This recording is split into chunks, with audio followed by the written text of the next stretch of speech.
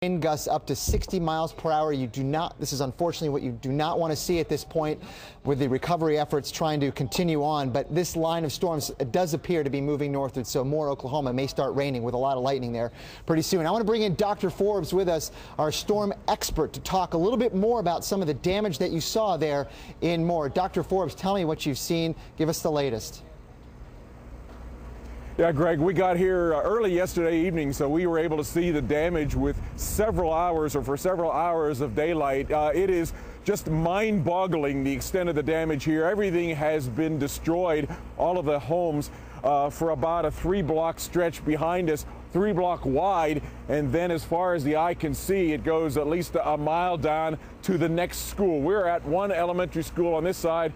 The other that has had the fatalities is, is down to the east. The, Homes that were uh, all here are now piles of rubble. The debris from them flew, and we've had huge objects that have flown in. A huge uh, tank, it's about the size of a railroad tanker car, flew in. We are told that it came from about a half mile away. So that's the kind of extreme missile that uh, gets me to thinking that this is going to be an EF5 tornado. That's what I've told by email to the National Weather Service. Uh, big chunks of concrete have flown at least 75 yards off the school into neighbors' yards. So it's a scene of utter destruction.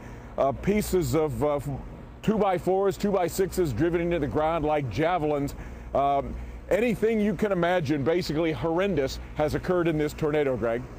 Yeah, thanks, Dr. Forbes. I mean, I agree with you. I would not be surprised to see this updated to uh, an EF5 tornado. Uh, the damage that I've seen is comparable to the worst that I've ever seen, and I've been looking at these things for a long time, as obviously you have as well.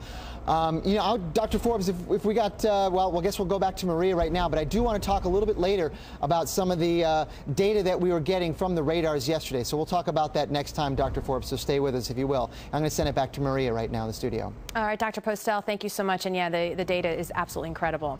Well, from the Great Lakes to Texas, the tornado threat remains imminent today. Coming up on Wake Up with Al, where the expert analysis will show